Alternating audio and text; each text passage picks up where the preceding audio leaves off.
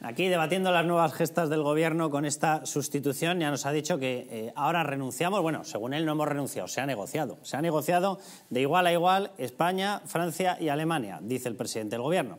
Y hemos decidido sustituir el MidCat, dice él, por un pipeline, con lo cual ya seguro que es mucho más, lo digo con toda la ironía, eh, porque vamos a vender muchísimo hidrógeno. Vamos a ser toda una potencia en hidrógeno. Eh, Daniel, ¿tú te crees algo? No, no, no se lo cree ni ellos ni yo. No es, que no me lo crean yo. Vamos a ver, debemos entender una cosa. Eh, esta idea de que un gasoducto se puede pasar gas natural e hidrógeno según le apetezca a un gobierno de un momento a otro, eso no ocurre. ¿no?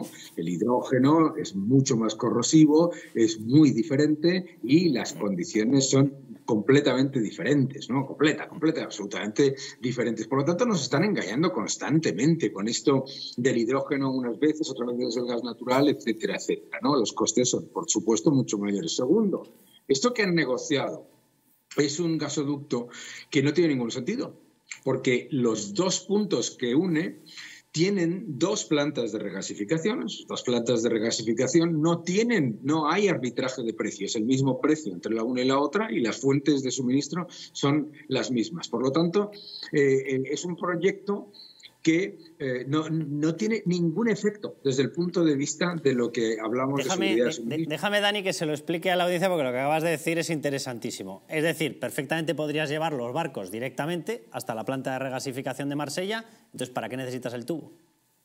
Claro, no necesitas el tubo para nada, ¿entender? Porque eh, el, cuello de, el, cuello de, botella es la planta de regasificación. Si la planta de regasificación está llena, tú puedes, ¿qué vas a hacer en el medio? Pero lo más importante en todo esto es que nos están contando un cuento constante, ¿no? Que es esto de que España es la solución a todos los problemas de la energía del mundo que vamos a primero España no produce nada no es nada más que un sitio de paso segundo eh, y más importante eh, si tú eh, generas un acuerdo con Francia para mejorar la interconexión con Francia, eso no soluciona absolutamente nada de la interconexión ni con Holanda ni con Alemania, porque el nudo noreste y el nudo noroeste no se, no, no se cambian. a la gente se le está contando como si un gasoducto fuese una carretera, ¿no? Que puedes, viene la policía, cambia un carril para que puedas ir, ¿no? Como el carril eh, central de, la carretera hacia, hacia Guadarrama, que puedes decidir un día que vaya hacia un sentido y otro para otro. Eso no funciona así. Esto no funciona así. Aquí están haciendo absolutas aberraciones con una cosa, primero, que el propio gobierno bloqueó el MidCat. ¿no? El gobierno bloqueó MidCat por una decisión ideológica cuando estaba todo hecho para que se pusiese en marcha el proyecto. Segundo, ahora se inventan y le llaman el no sé qué verde. ¿Pero cómo verde? El corredor verde. Yo la primera vez que lo escuché, Daniel, digo, será que han puesto a un señor con unas mallas verdes y va a correr, porque, o sea, sentido no tiene ninguno, pues debe ser el corredor verde, no sé. Pero claro, pero fuera, fuera de que, además de que no tiene ningún sentido, vamos a ver, por favor, ¿me pueden decir los, las cantidades de aluminio, cobre, la cantidad de cemento, etcétera, etcétera, etcétera, etcétera, que se necesita, claro. O sea, ¿qué es esto de llamarlo verde? Y sobre todo si va a pasar o gas natural o hidrógeno, ¿o no? Pues aquí estamos todos los días, o sea, parece como que parece como que si le pones la palabra verde, pues ya está solucionado todo el problema.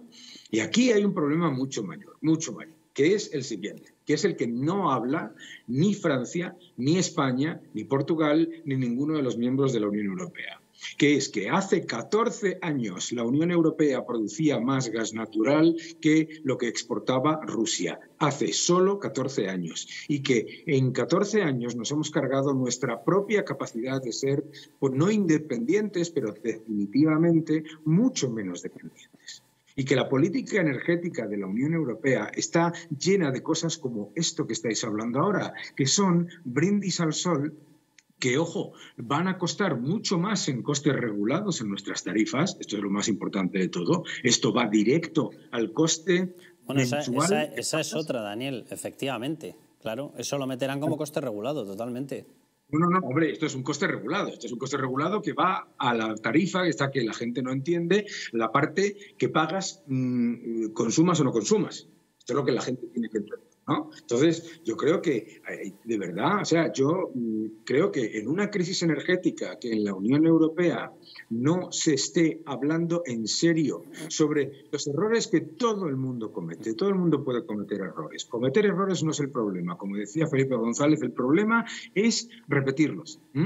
Y el problema es que estamos en medio de una crisis energética. Alemania, de, en vez de poner en marcha las tres centrales nucleares que tiene todavía operativas, decide ponerlas en stand-by para demostrar que no se baja de sus errores. Alemania, Francia, con los problemas con los nudos noreste y noreste, noroeste. Eh, da igual el país, es que unos y otros, y aquí y nosotros, los campeones, y porque le estamos regalando en todo este llamado el tope del gas, eh, España le está regalando a Francia 600 millones de euros.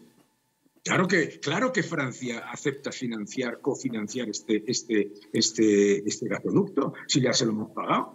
Dani, esto literalmente lo que implica es que España no pinta absolutamente nada, que nos hemos quedado fuera del mercado o que nos podemos quedar totalmente fuera del mercado del gas, que nos toman por el pito el sereno, que no nos hacen caso, que en cualquier negociación con Francia y Alemania los que mandan son Francia y Alemania.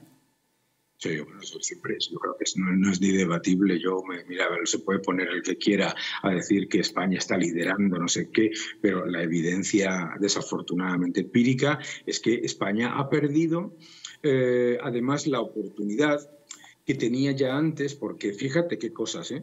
Gracias a las empresas españolas tenemos eh, unos niveles de regasificación que son una absoluta maravilla y que gracias a ello no vamos a tener, no vamos a tener un problema de suministro.